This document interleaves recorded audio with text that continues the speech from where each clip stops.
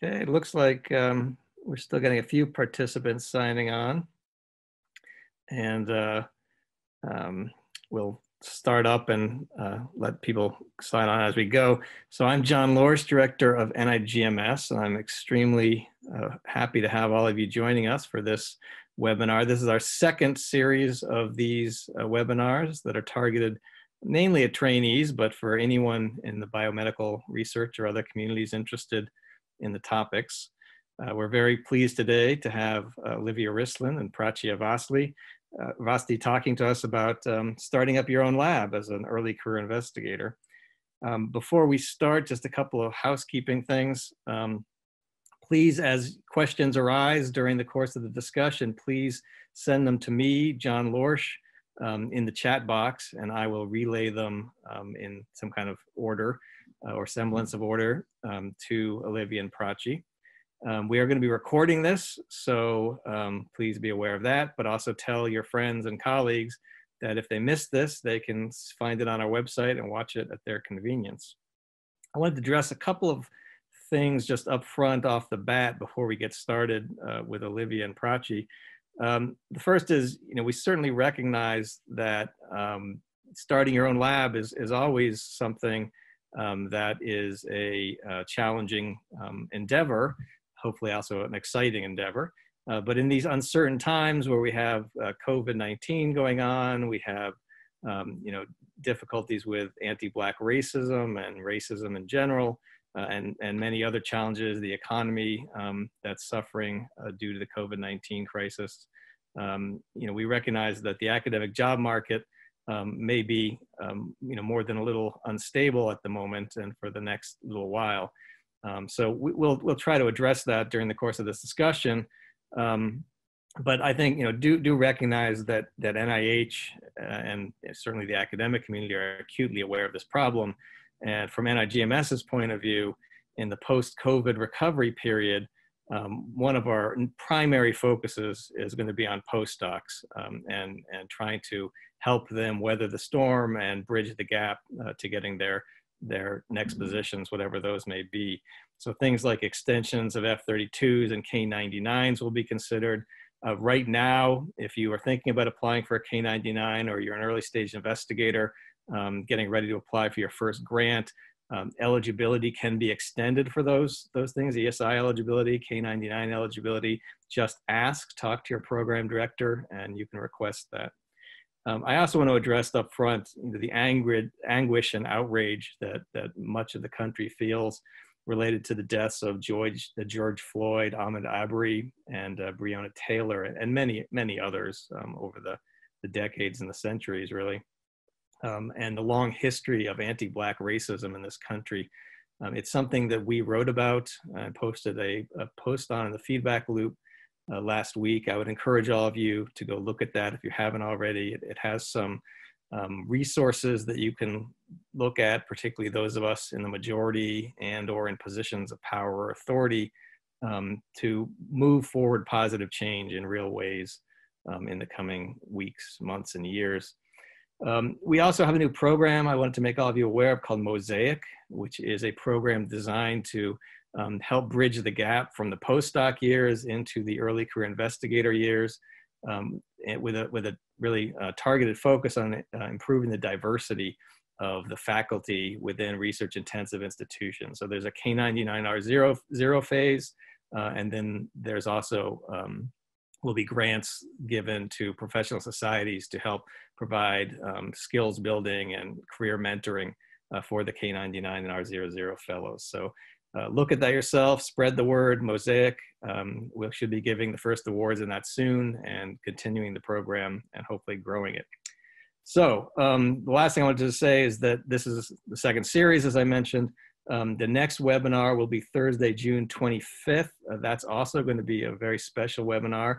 It's uh, from 2 to 3 Eastern Time. It's going to be on leadership and management as a scientist, and we're very lucky to have Shirley Tilghman, the former president of Princeton University and a really esteemed molecular biologist, and Guy Padbury, senior vice president of Merck and Company, uh, and um, a clinical, a preclinical researcher um, of some renown in his own right as well. So I hope you can join us for that. then, uh, without any further ado, um, I would like to not introduce our two uh, panelists, uh, Olivia Rissland and Prachee Avasthi. They are going to introduce themselves as part of uh, what they're going to tell you about. So take it away. I think we're going to go to Prachee first, right? Yep. Uh, thank you so much, John. Um, I really appreciate um, this opportunity, and I'm really glad um, that all of you are here with us today. Um, so my name is Prachee Avasthi. I'm a cell biologist. I'm about two weeks from officially being an associate professor, and I'm moving my lab this summer from University of Kansas to Dartmouth. Um, and my lab studies how regulation of both microtubule and actin cytoskeleton controls assembly of this sort of sensory organelle called the cilium. But when I'm not nerding out about the cytoskeleton, I'm involved in a lot of different initiatives that tackle what I think can be improved for me and others in science. Um, so I'm on the board of directors of the preprint advocacy organization ASAP Bio, the board of directors of the open, um, open access journal eLife, and the steering committee of Rescuing Biomedical Research, which is concerned with the overall sustainability of the biomedical uh, research enterprise. I also started a peer networking community called New PI Slack, which I'll describe briefly in a moment, um, and is very pertinent to our discussion here. So I just wanted to start off with just a few initial remarks before I kick it to Olivia. And I want to start off by saying that there are probably about as many ways to run a lab as there are people doing it. Um, the best thing about this job, in my opinion, is that you get to choose.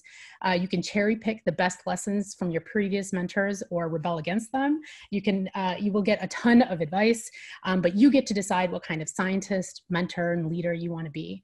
Um, and through this discussion, I will argue for bringing your unique talents um, to your science and your practice of it. Um, and it's not just people like John that are in a position to set the course. Um, each and every one of us has the power, and I would argue the responsibility to, uh, with our individual decisions, to sort of improve our corner of science. Um, so it's your job to find your voice, find your scientific voice, how you want to do science, how you interact with others in science. There's always going to be an army telling you to sort of follow the rules until um, you're safe or that you have permission to sort of abandon your principles or your vision because you're vulnerable or inexperienced. Um, and I would say that the spoiler is that we're always learning and that um, and that there the day may never come that you really feel truly safe. And so um, while you're always going to be taking a risk whenever you deviate from the status quo, it is your individual strengths for which you will be hired and rewarded.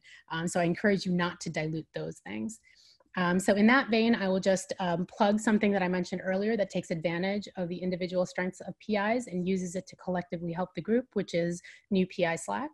Um, it's an online network now consisting of more than 2,000 PIs from almost every continent. Um, so I started this network in 2016 when I realized that everyone starting a lab had faced the, you know, faced the same cha challenges and we didn't need to exhaust ourselves sort of reinventing the wheel for every mundane decision but we could also use the ingenuity of each person to spark better ways of, of doing things.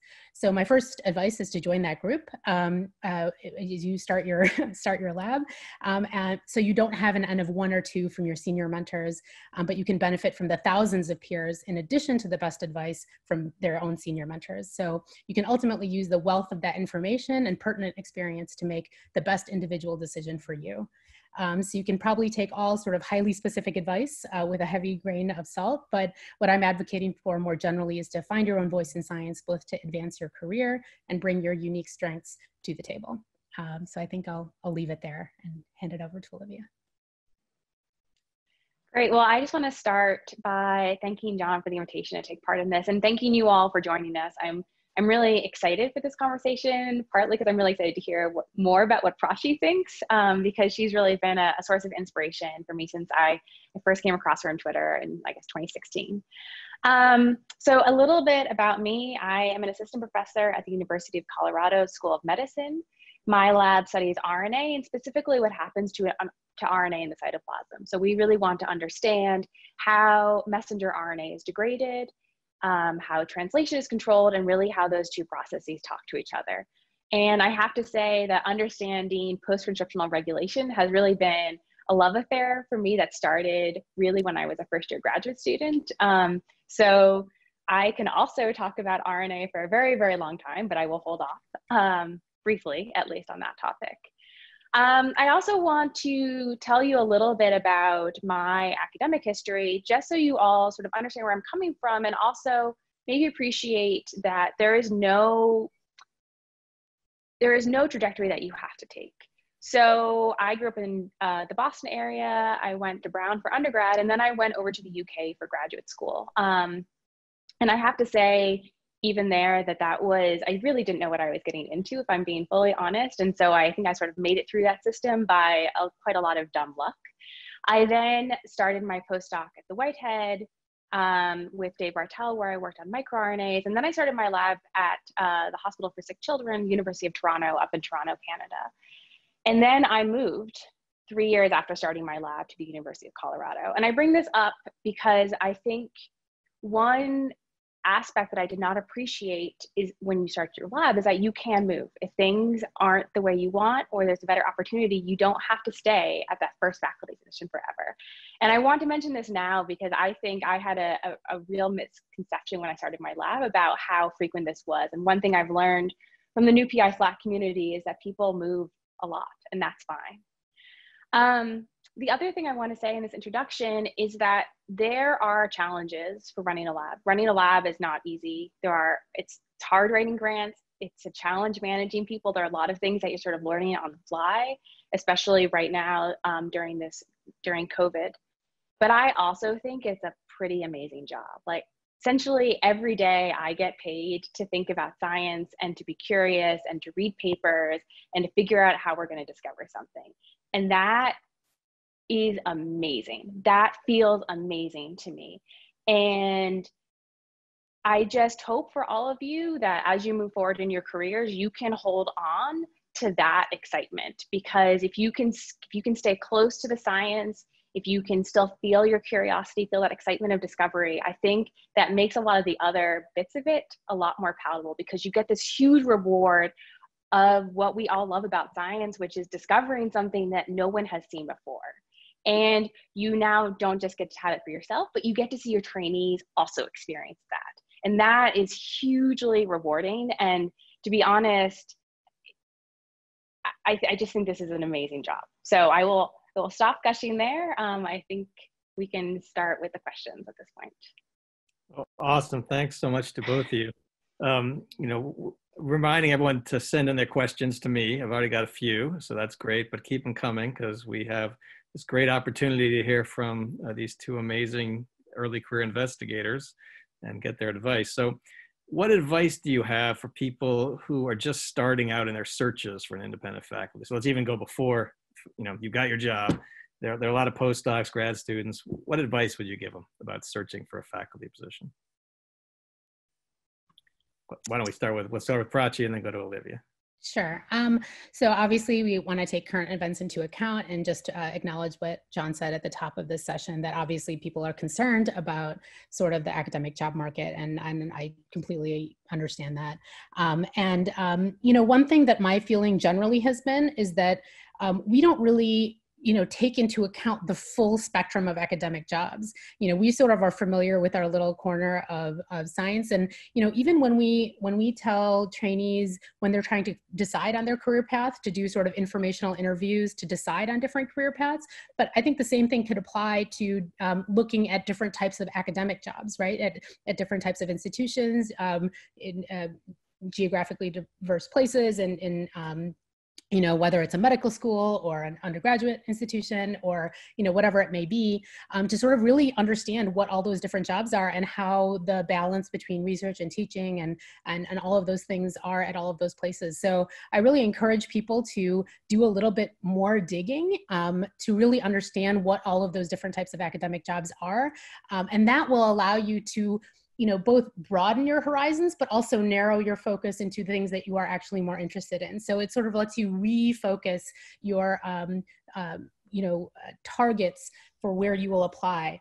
Um, and then i would and, and, then you know i think people have a lot of different methods about going about this but um, I think once you have that, you know, broadening and then narrowing, you can you can cast a wide net and and you know keep in mind that um, you know it's that you are looking for that place that's a right fit. And i will say that i have been wrong at every point in my career of where i thought that right fit would be. Just and just ahead of time you know when you go on interviews whether it's for postdoc interviews or or faculty interviews you have this conception in your mind of what you think is going to be the right place for you. And then you actually go there and then there are places that completely win you over and there are complete places that you think oh no this is really not for me. Um, and and often we don't know um, you know we don't really we're not in the heads of the search committee members necessarily right? So we don't know um, you know what it is that they're necessarily looking for and i have often found that places that i sort of just applied on a whim you know you go there and interview and you think like oh i am a really good fit for this position based on what they're looking for but you would never have known that from the job ad. So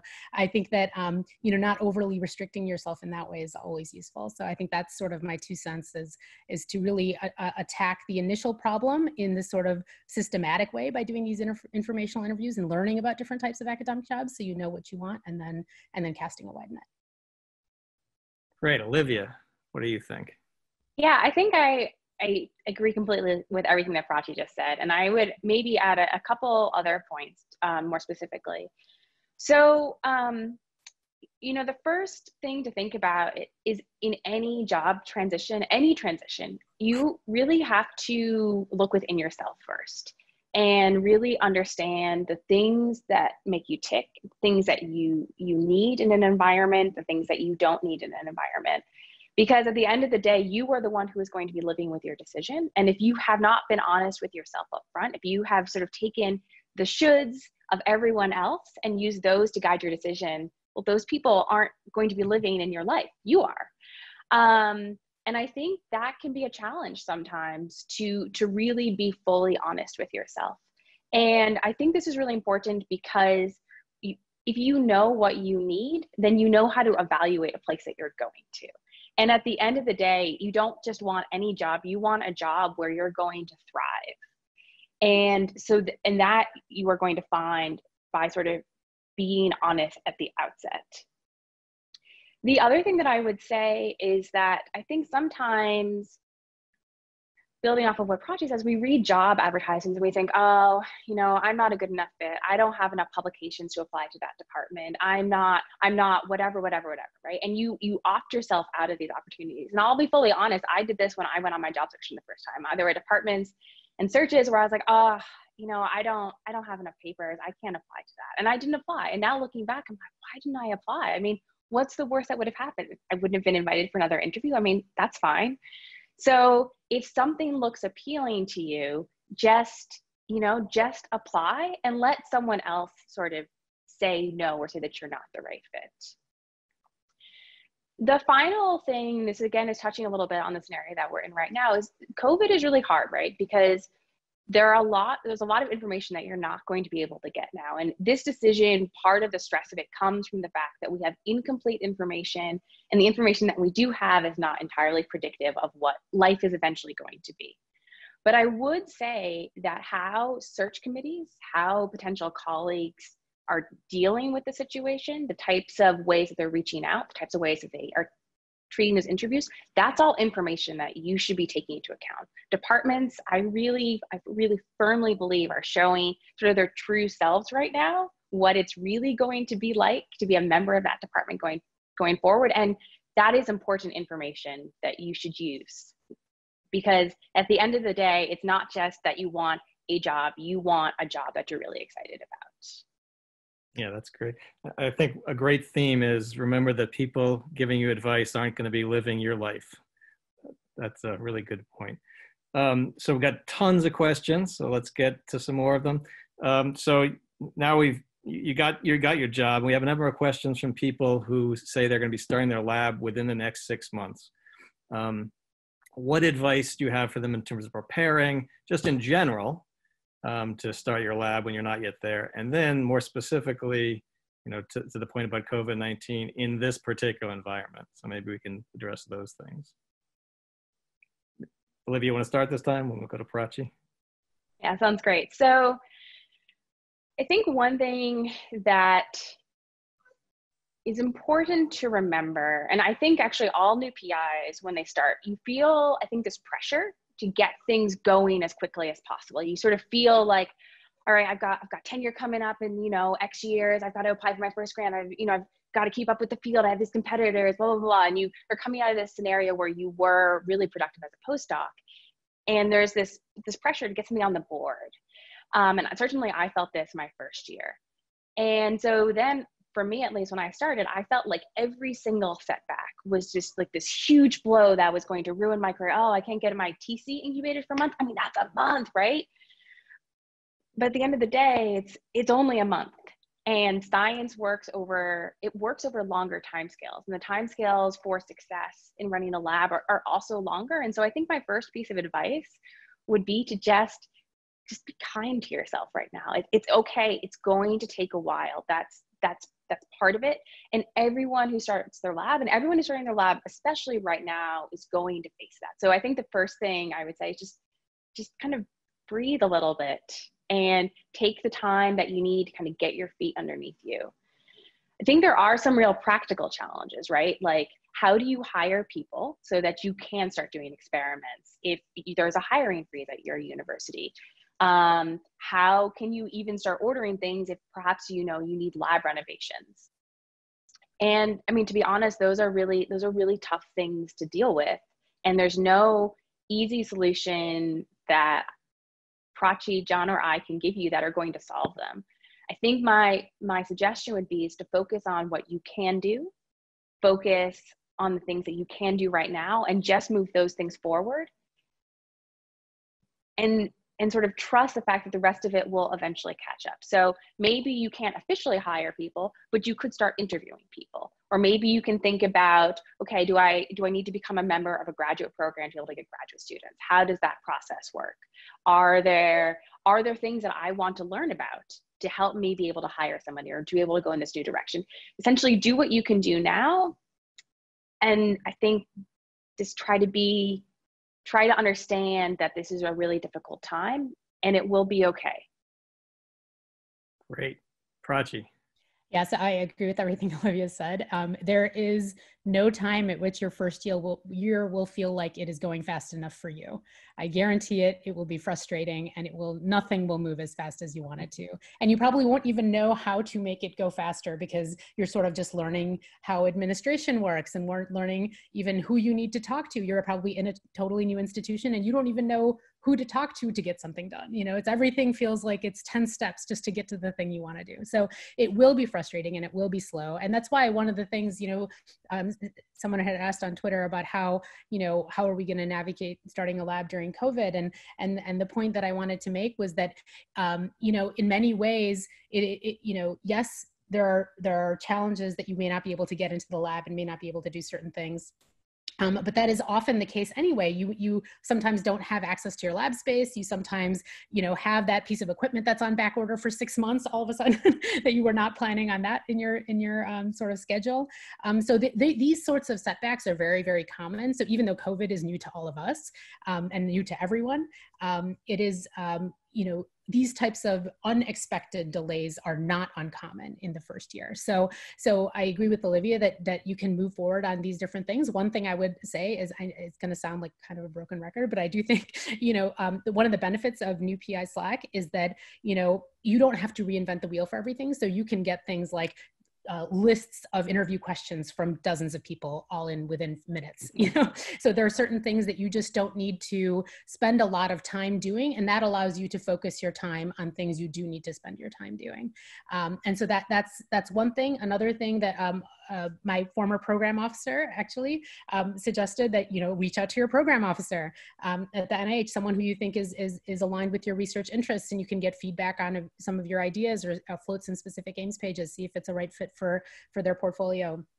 Um, so these are things that you can do. Reaching out to people is always something that you can do, um, whether it's reaching out to people at your institution to understand, you know, how these administrative structures work, reaching out to your program officers, you know, reaching out to prospective candidates for different positions you have openings for, um, you know, advertising those things, setting up your lab website, you know, making sort of um, your your presence um, known in the, the presence of your lab. As many of you will know, it's it's difficult as a brand new PI and you're sort of trying to recruit amongst many more senior people at your institution. So that's always a challenge that, that um, early career people face.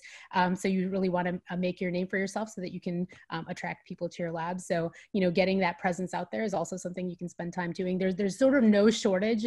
Um, it, it's, you know, it may feel like you're slowed down during COVID, but the truth is there's, there's actually a hundred things you need to do all of them yesterday. So, you know, there's there's no shortage of, of things that you can make progress on. Um, and it may be a little bit difficult to be able to move forward on some of those things given the circumstances, but um, but but it will move forward. And and then I echo everything um, Olivia said about um, it's going to be frustrating, but but you'll do great. Great. Maybe if I can just add one other thing that occurred to me while Prachee was talking is that certainly when I started my lab, and actually then even when I moved it for both of those sort of first setup years, I felt like I had very little time to do any type of real scientific thinking. You know, you're you're just trying, as Prachee said, you're trying to do these hundred things, all of which you wish had been done yesterday, because nothing is moving at the pace that you want it to move. And so you can come to the end of a week and you're like, well, what have I like? What have I done? What science have I done? I've done nothing. I've just been sending emails. And so one thing I, I would suggest is you know, you probably wrote a research proposal when you went on the job market. These were the things that you were planning to do. Some time has passed. Do you still think those are the best experiments? Do are those still the best projects? Do you have new ideas? What would those ideas look like? What do you need to put into place to make those ideas happen? And almost give yourself a little bit of the freedom to evaluate the science that you're going to start off doing. Because why not start off doing the science that you are most excited about. Like, why wait for that? And this can be a really good opportunity where you are have this enforced time where you have to take a little bit of a step back. And I would also suggest that I think thinking about science in the midst of all of this other stuff is actually a really great way to keep yourself feeling connected to the science and still feel somewhat excited about this new position. Great. Lots of questions about hiring now. So let's go to the hiring phase. The first one is, in general, are there rules? Should you start with a technician, a postdoc, uh, recruiting a grad student? What's your thinking? Prachee. There are no rules, and don't listen to anyone tells you that who tells you that there are. Amen. Amen. yeah. I mean, this is one of those things that everyone has a very strong opinion about this. And if you talk to 10 people, they will tell you 10 different answers. So I would not fall in the trap of thinking that, you know, your research program is, you know, depending on what your science is, depending on, you know, you may have a research program that requires a mouse technician or that requires a, you know, you don't, depending on what, you know, what you're doing, it might be very, very specific. Or, and also one thing about graduate students is that they always tell you, oh yeah, you're a new person, you'll have no problem problem attracting graduate students. Depends on your circumstance depends on your department and and who else is in your department. Um, so you don't always get a choice in whether or not you know when your flood of grad students is going to come whether it's going to be in that first year or maybe it's in year three you know? So certain some of these things are not necessarily up to you. And, and often i think the, the most common thing that i see uh, from new pis is their immediate rush to hire another one of them. So their first instinct is, I want to hire a postdoc. I want to hire former me. You know, I, I know me, if I had just another one of me in the lab, I could just, you know, you know, knock it out of the park. And so it's very tempting to try and recruit a postdoc early on. And I will say that as a new PI, it is often very challenging, as you can imagine, because postdocs have the choice of brand new untested PIs and very senior senior mentors. And so it is always a challenge for new faculty to recruit new postdocs. So A, I would say there are no rules. B, it's not always up to you because you have to recruit these people. It's not just about who you're hiring. You have to recruit them, which is work and actually um, things that you should be thinking about, how to, how to best um, position yourself for recruitment. Um, and then um, beyond that is it's a really programmatic decision based on your on your research research program. So I guess I would, um, it's the only thing I can say that's not wrong. Olivia. Yeah, I think maybe another way to put it is just as like there's no right way to make your first hire, make your first couple hires, I would actually say there's probably no, really no wrong way to do it either. Um, there are many, many ways to get from where you are to having like a really vibrant lab. Um, and so I think this kind of goes back to what I said earlier. Sorry, I now have a cat who's like trying to push my computer off. Um, you know, I think one thing that's really important is again recognizing what you need and the types of people that you're going to be able to work with. I one thing that I realized after I made a couple of hires that I wasn't totally thrilled with is that like I don't want to work with people who are jerks. Like I just I felt like it took me too long to get here and I want to like everyone that I work with. And so that means that for me, when I'm making hiring decisions, it's really important that I have a process to try to assess whether or not they're they're going to be a jerk. And if I don't really care how brilliant or how hardworking they are, if they are are selfish and not giving to the team, then that's not that's not somebody I want in my lab. Um, and so I think this is where thinking about what you need from a, a personality perspective is also is also really important. And then once you know that, then you have to figure out questions that you can apply in a fair way to get at the heart of that. Mm. Because I think there's also something else you want to be really conscious of, even in your first hire, is that however you're making your hiring decisions, that you're doing it equitably, you're doing it fairly, and you're not using proxies to to make those hiring decisions proxies that aren't really getting out at what the core of the issue is yeah those are really important points Sorry, um, can I just say one other yeah. thing that Olivia reminded me of, which was that, um, you know, I think that one thing that cannot be divorced from the hiring decision is that it is also a mentoring decision, right? So we are training all of these people and we have a responsibility to do that, right? So I think it is often a common mistake where people say, well, I want someone with skills A, B, C that can hit the ground running on whatever thing. But the truth is, you're going to be training all of these people or and you and you have a responsibility to get them to their next career stage it doesn't matter whether they're a technician or whether they're a student or a postdoc or whatever position that they hold you are going to be you know uh, training these people and you're going to be fulfilling a mentorship role. And so this you know that hiring decision cannot be divorced from that responsibility and making a decision on the basis of of, of how you are going to train. Yeah that that led into the question i was going to ask you exactly right. So someone was asking about you know how do you pick the best graduate student? Um, you know what you, you basically answered it but any elaboration on that yeah i would i would just say that i think that that become again that is not um, you know this is a two-way decision and it's always important to remember that that when you are interviewing people they are interviewing you.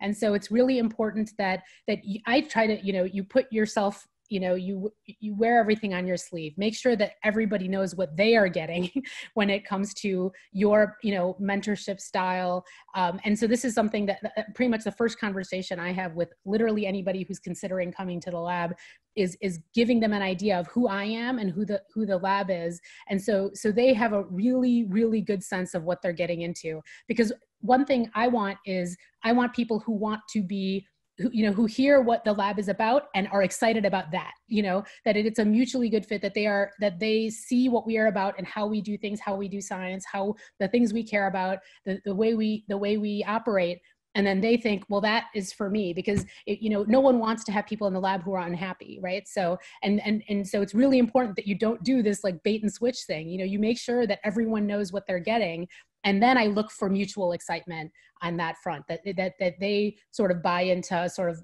my shtick you know? Anything to add about grad students olivia? Yeah i mean i think i think that's a I, again, totally agree with what Prachee said. I think another way to think about it is that um, creating great science at the heart of being a PI, this is now a collaboration.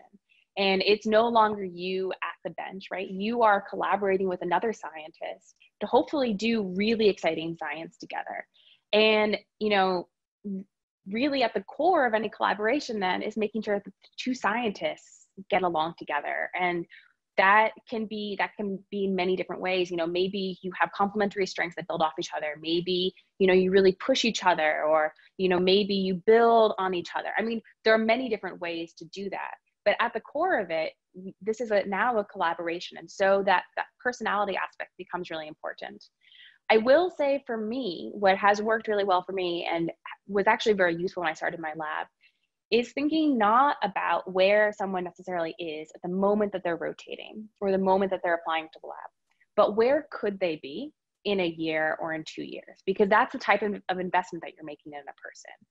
And for me, I felt like, well, you know, if someone's coming in and they're motivated they're willing to work hard, they are willing to learn and listen um, from with me, and if they're you know excited about RNA, like those are all things that I can work with. Like those are traits that like I know I can work with. I can teach somebody how to do Western blot. Like that's that's sort of the easy side of things. It's this other personality aspect of it. that's a lot harder. And if I have for me these key raw ingredients, like I know that we will kind of will fly together. And every time I've sort of followed, I've followed those traits, I've been really happy with our relationship at the end. And it's the times where I haven't listened to myself about this that I've ended up with someone that I'm, I'm not so excited about and it, where it hasn't been as productive a relationship just eh, elaborating on that slightly, you know, Prachee made the point about looking for, you know, people tending to look for another one of themselves.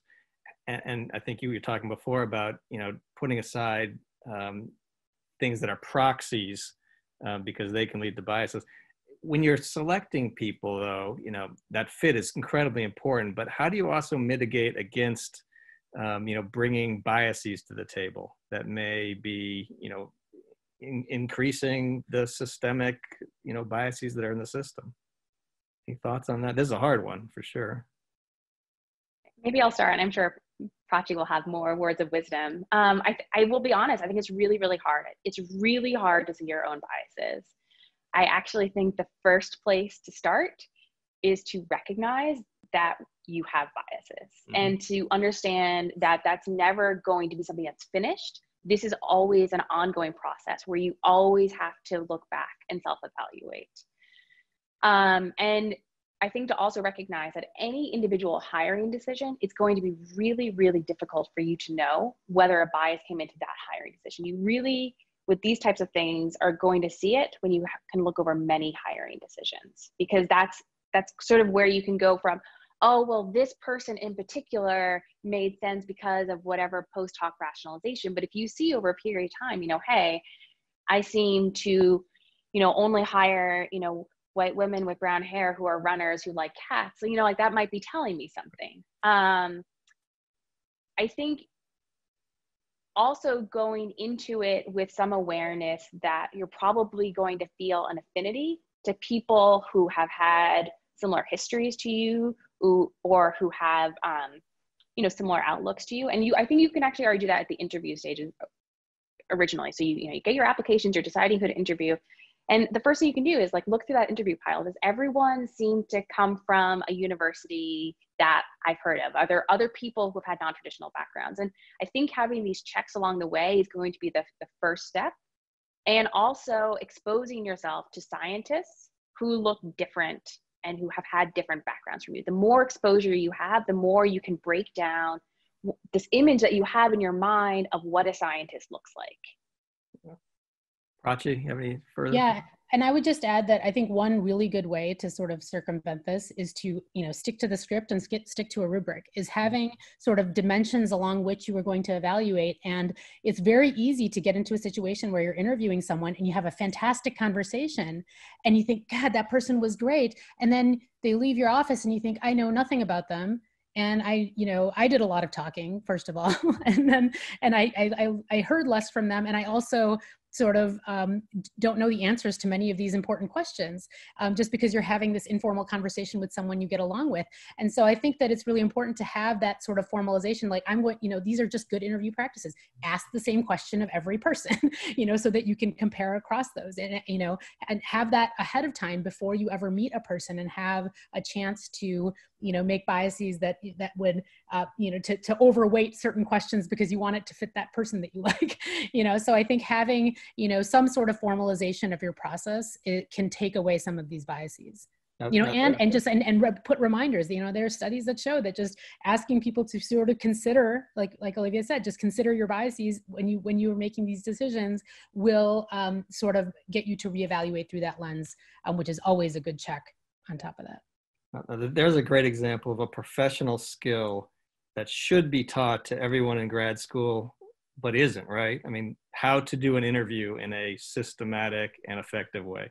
But we're just thrown into it, you know, when we start our lab with no one ever telling us what to do. I think that's a great point. Um, and lots- actually, if I can, sorry, sure, John, if I can just build yeah. on one final thing. Um, you know, the other thing to think about, especially if you haven't done hiring before, is you don't actually have to do it all by yourself. You can mm-hmm. ask colleagues to help with the interview or to talk with them one on one. First of all, that's a really great way of making sure that you haven't done the, oh, I really like this person, so I'm going to hire them without having sort of done done some of these checks. But also think about you know are they talking to a diverse group of people when they're when they're coming and interviewing? Because that diversity will bring a diversity of perspectives on on a candidate. And doesn't mean that you have to listen to what everyone says and just you know we all know academics right? All of us have our own different opinions and we all want to be heard it's okay to disagree with some of your senior colleagues but hearing those opinions and those different perspectives is a really good way of providing some checks against your own bias. So, lots of questions about scientific priorities here. How did you guys decide what you were going to work on, what you're going to propose to work on, and what you're going to actually work on um, in, in your labs? Can you talk about that a little bit? Yeah, so you know, when you asked that question, I immediately thought of um, this is a really big challenge because, you know, when you are a postdoc, you probably have notebooks and notebooks full of ideas that your two hands just can did not have enough time to tackle right? And so so you have these these millions of ideas but you you don't have infinite resources and infinite hands to really do them all at once. Um, but you know i have always been of the of the opinion that you know that we we sort of again cast a wide net and try different things and see what takes off. This is how i do science in general you know is to you know go with what i you know my very best guess for a good idea and and and do some tests. Just try to try to try out as many things as possible and almost always something will win out or you'll get excited about a result or something else will take over and then you will you know be able to do that. And, and you know yes you have to sort of think strategically about um, you know in my opinion when you when you apply for for funding you know your history of training is very much emphasized right? Like what are you sort of an expert on and are you qualified to be working on? And so that sometimes is you know it's it's hard for example to like there are things i'm like extraordinarily excited about that we work on that you know i was never really formally trained to do and it's, it's harder to get funding for those things right? Because you're not like a recognized expert from your training in those aspects. So you know that you know requires collaborations and things like that and so but i would say that you know having you know letting getting that you know you're going to need that preliminary data. So so trying a lot of different things that you're excited about you know something will almost always you know take off that you can really pursue and uh, refine as you go along Olivia, what are your thoughts? Yeah, I, well, perhaps unsurprisingly, I completely agree with Prachee. I think um, certainly my tendency as a scientist has been to be one, I'm interested in a lot of scientific questions. So, in fact, you know, I think my real challenge is prioritizing, not sort of going like this, to be honest, when I was a postdoc, I had those like notebooks of projects that I was going to do. And I thought, oh, when I have my lab, I'll finally be able to do all the projects that I want to do. And it turns out, no, I just have more project ideas at this point. like it's, it's the ratio of what we're doing to what I want to do appears to be sort of a constant of the universe. Um, but I think you know, I think something that people often do, especially when you're feeling really nervous, right? And I think this happens also at the beginning of postdocs. People say, okay, well, I'm really nervous. I want to look productive. So I'm going to do a safe project. I'm going to do a project that gets me an easy paper. Well, the fact of the matter is, like, safe projects, easy papers, like that doesn't really exist. They're all hard projects, they're all hard papers, they all require revisions. And so I sort of have this feeling if I'm going to do science, I'd rather do the science that I feel like is really exciting. Because for me that's what gets me out of bed in the morning. That's what i like that's why i'm a scientist is because i want to discover something. And the the safe projects often don't sort of motivate me or get me excited the same way. That is not to say that a safe project can't lead you somewhere exciting. It's just that that's sort of a, a serendipitous moment that's really hard it's to foresee so i would say you know when you're starting figure out the things that you can do things that you can do with the things that you have up and running and and just explore and be willing to change your mind be willing to change your priorities um, and be willing to accept that your original ideas also might be wrong. If you get that result that does not match i mean we all know this right? That anomaly Mm. Don't just like push it under the rug because it hasn't, it doesn't fit with what you want to, your R01 to look like. There might be something really, there might be something really exciting there that's worth your time to dig in a little bit more deeply. Absolutely. And, and there's a perfect segues into the next series of questions, which are about grants, of course. So, um, you know, when should you apply for grants? What grants do you apply for? Talk about your experiences there and and and how what you were just talking about about safe versus ambitious um, fits into that. I think there's no substitute for um, you know writing a lot of grants. There are there are a lot of different schools of thought on this. So if you you know ask this question in New PI Slack, you would get a range of answers from people who think you know you don't want to put out a half baked grant and you don't want to and you want to make sure you get that for you know this is the actually the, the advice that I got the sort of conventional wisdom that I had heard you know from the universe. When i started was pretty much you know oh you want to get that first paper out because you're going to need that paper in order to get the grant you know and so you know focus on getting that paper. And i actually you know ultimately i don't agree with this sort of thinking. I think that you know uh, it's really important to be open with your science and get a lot of feedback and that includes on grants too. And so you know you know this I you're not necessarily going to land your first grant, right? So it's an understatement, but I'm trying not to totally understate that. But it's a, um, you know, uh, my feeling is that you know there's going to be a lot of opportunities, especially when you're early. There's a specific, unique set of early career grants that you can take advantage of. So obviously, many of you are familiar with um, you know, um, early stage investigators at NIH, and but many other types of even foundation grants have grant um, mechanisms that are specific to early stage investigators and that clock is ticking right? So you are going to have a couple of shots on goal um, you know for that period. And so it's really important to take advantage of that um, and so you know what you don't want to do is sort of just you know uh, get your papers and things and then have your first shot on goal be you know your last chance at one of these grants right? Um, so you know you, you want a chance to get feedback and to revise your grants. It's oh you know you're going to need feedback to revise your ideas and you should do that widely no matter what internally externally however you can get it whoever you can get to read something you've written you should take advantage of that um, because that's that's really um, the your best path towards um, you know not getting shot down by your you know your your one submission. So my personal philosophy is to apply to lots and lots of grants and as many as you can. Um, i know a lot of people think that that's um, that's you know uh, not always time well spent. I've always found it to be extremely useful and i learn something every time i submit a grant hmm. um, and every time i get feedback so. Olivia. Yeah i mean i i think I think one thing that you need to remember is that the grant landscape now is very different than it was 10 years ago, is very different than it was 20 years ago. And I think that it's important to remember when you are getting advice from senior faculty that what they experienced might not be what you have what you are experiencing and i will say that i think this is one of the real benefits of a community like New PI Slack where you hear a lot a lot of experiences from people who are at a very similar career stage as you I am also of the opinion of just applying a lot because at the end of the day, that will help. I mean, you know, odds are odds, right? The more shots on goal that you take, the more likely you are to get a goal. And, you know, when we're talking about grants, we're not talking like you need 10 grants.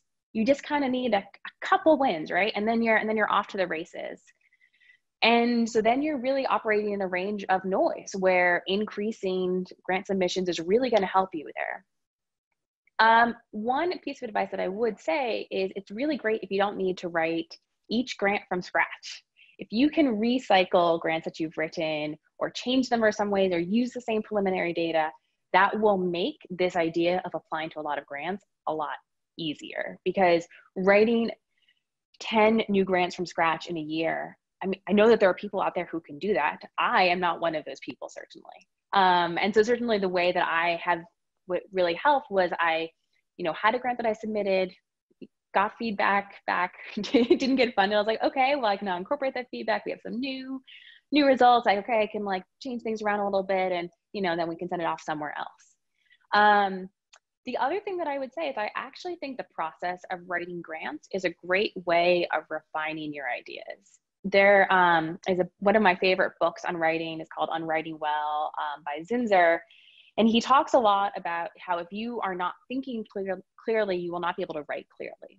And I think the act, the, the act of putting your ideas on the paper, of trying to find the logic, of trying to order them, of trying to think about the rationale, you know, what is the significance? Those are, that's actually a really great exercise. And so I don't think it's grant versus trying to move your lab forward. It's writing your grant and moving your lab forward. These two activities are synergistic.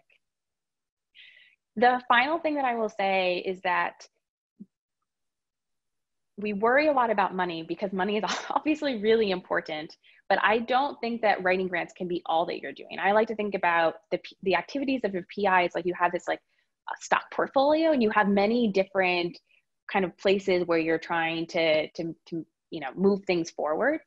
On the one hand, this is really stressful because it feels like you have about 10 number one priorities, right? To get the lab up and going, you have to hire people, blah, blah, blah, blah, blah, write grants, get papers. But I think maybe another way to think about it is you want to sort of be moving everything in all of those areas forward a little bit. And if you are finding that you're spending 100% of your time writing grants, my sus- suspicion is that that's probably too much of your time. I don't know what the right percentage is. I know that 100% is too much. And then the final thing that I was going to say, one thing that I think has really changed in the grant landscape is bioRxiv. And I cannot, I cannot recommend enough pre-printing your papers. Mm-hmm. In, you know, in the old days, it used to be you had a paper, you submitted it, and you know, who knows when it was actually going to come out. Well, like I now know it will be like 48 hours after I submit it to, to bioRxiv, it will be online and readable. And for you new PIs trying to show productivity, this is a really, really great way. You want to get feedback on your work, pre-printing is a really great way. You, you know, you want to kind of move things forward, help attract postdocs and graduate students, pre-printing is a really great way. You want to learn more about your field, read preprints. I, it just, it's, this has really transformed the way that science can be done. And so I, I think this is something that all young investigators should embrace and they can be cited anywhere where other research projects are cited in your NIH grants. there you go. Thank you. That's good.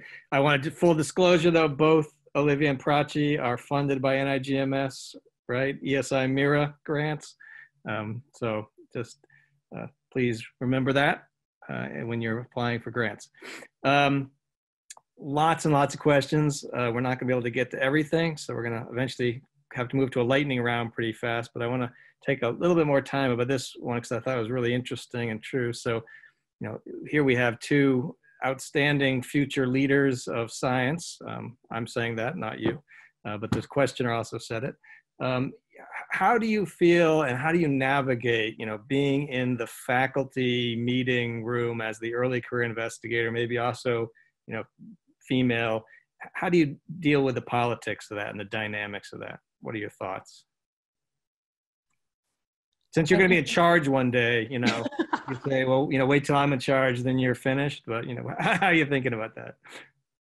I would say practice. So I think that it is an absolute, I think almost anything in science and related to doing science can be practiced whether it's putting yourself out there or um, you know speaking up in faculty meeting or you know doing anything that you think is is hard and maybe sort of some part of some intrinsic property you may feel like oh well you know i'm not like that. You know this is hard for me and it's easier for other people. I would say any of those things that you would put into that bin is something that you can get better um, better at with practice. And so this is something that is 100% true for speaking up on, on different things. So I, I am often the most junior person in the room and for a lot of different things. And, um, and it took me a while to sort of train myself to think, you know, I really need to, you know, I'm here for a reason. I'm here because they want my opinion, and that's true for you in your faculty position too. You've been hired for a reason, um, and so you know they want your opinion, and it is your sort of I think both your opportunity and your responsibility to speak up in those situations. And I understand people feel sort of vulnerable, and you will get, I guarantee you, you will get the advice to keep quiet until tenure, which I, um, you know, I understand, but I disagree with. um, and I often find that, you know, when you train yourself your entire career to wait until you're 40 something years old to um, to speak up that it's not so easy to turn that on like a light switch. It's you know mm-hmm. you probably are not going to then magically transform into a vocal person. So um, i would say you can also exercise that muscle earlier on and you know cautiously so but you can definitely make your voice heard and you're there for a reason and practice speaking up. It will get easier. Um, so i think that when you do that um, i've sort of found that making myself do that in those situations um, when I get into other situations where I'm I'm not the most junior person in the room, I, I worry that I'm a little overbearing and over talkative. but because I practiced that, you know, I've, I've flexed that muscle so often that that um, you know it, it can come across differently in different circumstances. But I would just say that that you can do it and you can get better at it. And I would I would take advantage of your voice in that situation. Olivia. I mean, I completely agree with Prachee. I I think anybody who knows me, probably professionally or personally, knows that I am I am not good at at staying quiet when I see things, large and small, um, that bother me. And I think anyone who knows me would also know I have a really hard time not wearing my heart on my sleeve. And I will be honest, sometimes sometimes it can feel like I wish I could be sort of more politically astute, right? Like somehow that would that would be better. But I, I actually i've sort of come around that i don't think that's true. Like i think one of the things that i bring to the table is that i am really passionate about this and that i do care about not just doing science but having the science science as a field being a just field. Like that really really matters to me. And to be honest if at the end of the day I have made published all these papers, but I have done nothing to make science better. That's not what I want for myself. And I don't want to be, to be fully honest, to be fully frank, I don't want to be a person for whom that would be okay. And so at the end of the day, I, I feel like I just have to stay true to myself.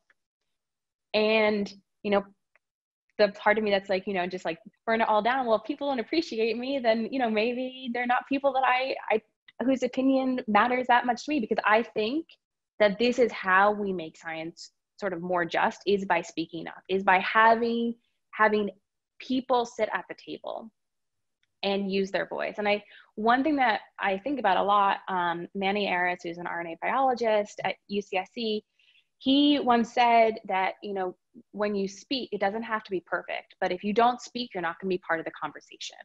And if we don't use our voice then our voices aren't going to be heard. That is so true. Please, all of you listening, don't listen to the advice about not speaking up until you get tenure, because we need you to speak up. Um, you know, I need you to speak up. The community needs you to speak up.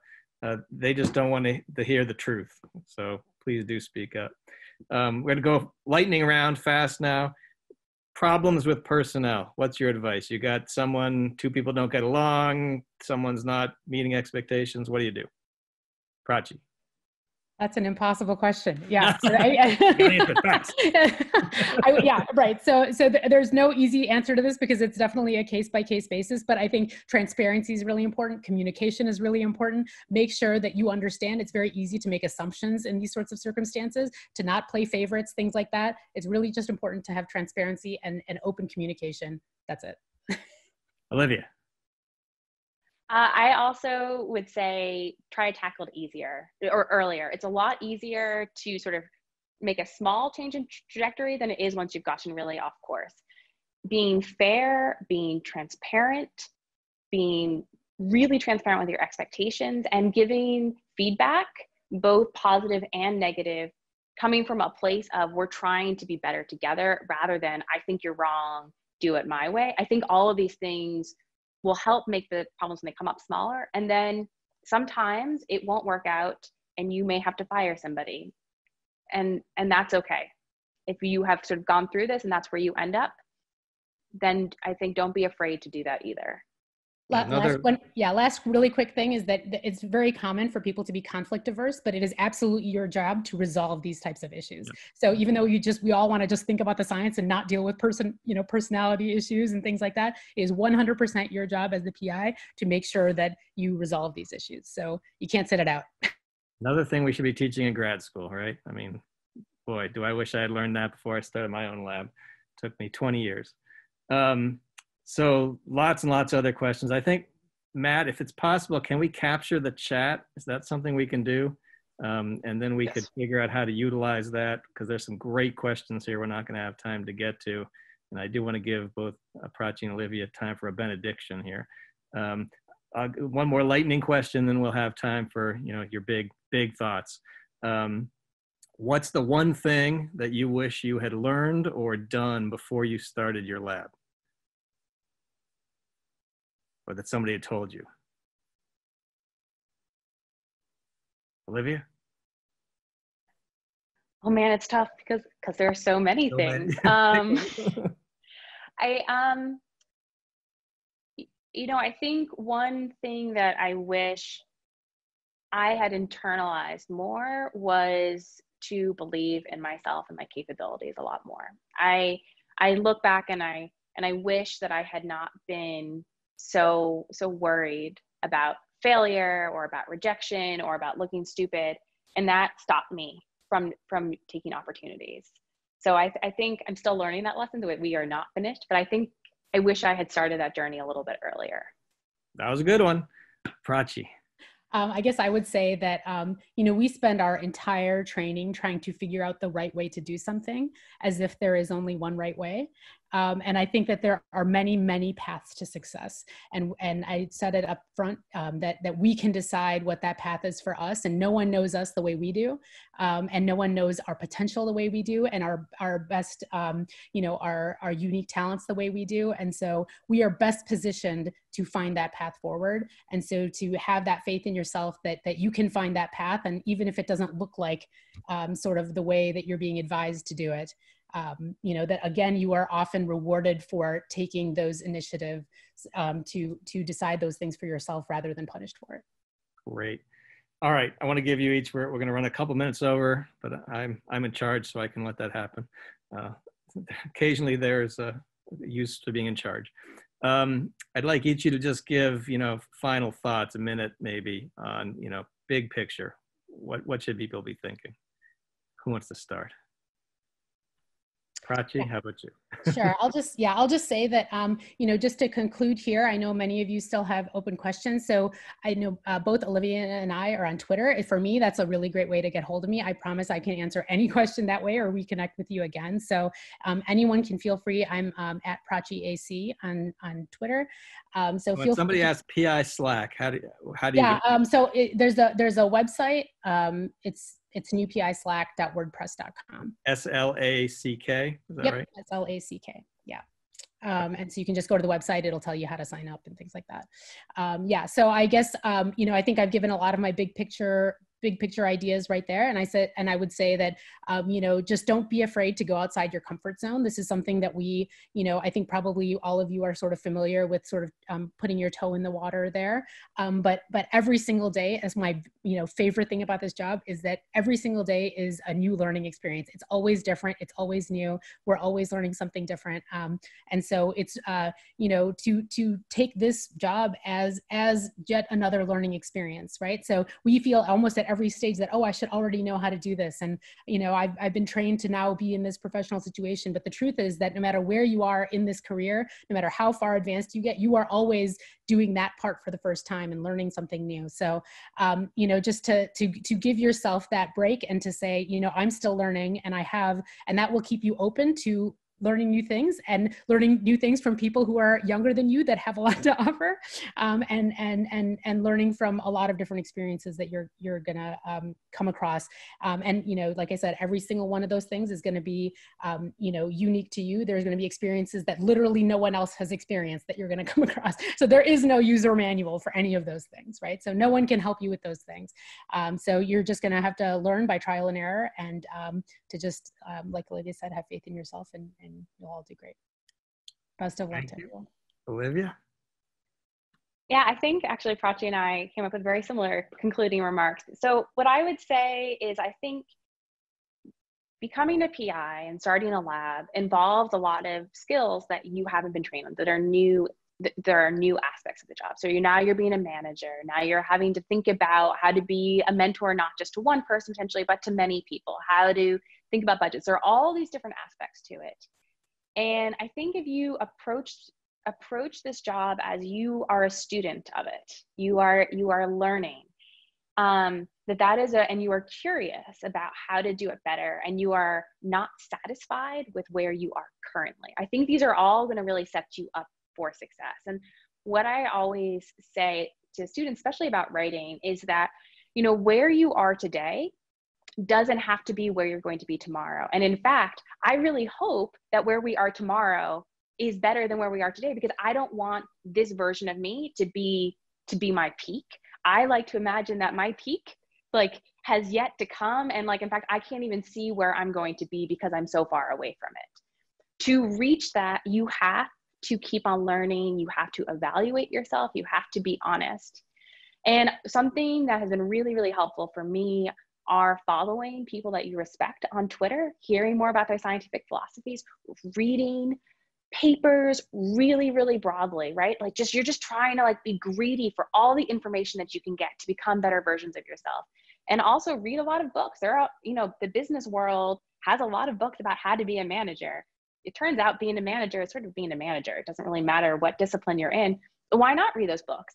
Some of them are sort of ridiculous, but they might have a few pearls of wisdom that will make you a better manager. So, like, be greedy for those. Um, and I think also, I would say at the end, be kind to yourself. It's okay not to be perfect every day. It's okay to make mistakes. That's how you know you're learning. If you're uncomfortable, that probably means that you're pushing yourself. Where there's friction, there's movement. I mean, I can like come up with a lot of sayings about this, but part of learning is making mistakes. And I think the most important thing is at any time you feel like you didn't do a good job or any time you make a mistake, you use that as a way to become better and that's it's always this sort of growth mindset um, I guess the final thing I'll say is that, yeah, as Prachee said, I am also on Twitter. I am at Be a Scientist, um, which I clearly chose when I was feeling like very excited about science. Um, but I am, you know, if you have any questions, like please feel free to reach out to me on Twitter. I'm also happy to like make more book suggestions on Twitter, probably more than we have time for right now. Um, but good luck, and it's really been a, a pleasure and a privilege to have this conversation with you today. And I'll say both their blogs are fantastic. I do urge you to look at them. Um, you know, listening to the two of you, I know things seem dark to all of us right now with everything going on, but listening to the two of you, uh, reading all the great questions, I feel like the future is actually going to be okay. So thanks for everything you're doing. Thanks for doing this. Um, and thanks all of you for participating. I really appreciate it. So, and we're going to try to capture everything in the chat and we will find something to do with all these great questions. So, Thanks so much, Thank you, Thanks, everybody. Yeah, thank you so much. It's been a pleasure. Bye bye. Bye, everyone.